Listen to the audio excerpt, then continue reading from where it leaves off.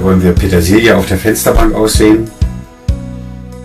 Dazu braucht ihr einen Topf mit Erde, das könnte Kräutererde sein, noch besser geeignet ist Ausssaaterde, weil die Saat, die dort gleich reinkommt, die soll ja erstmal nach Wasser und nach Nährstoffen suchen. Die Wurzeln sollen sich ausbilden und wenn dann die Wurzeln kräftig genug sind, dann kommt der Dünger mit dazu in Form von Flüssigdünger.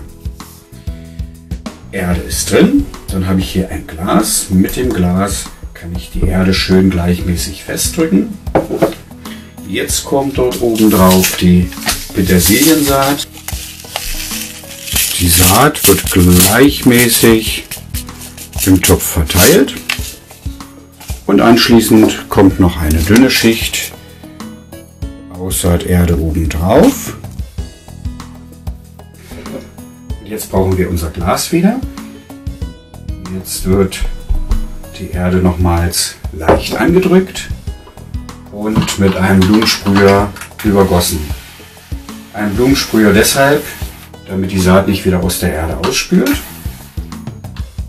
Und jetzt nehmen wir uns drei Schaschlikspieße und setzen dort eine Tüte drüber.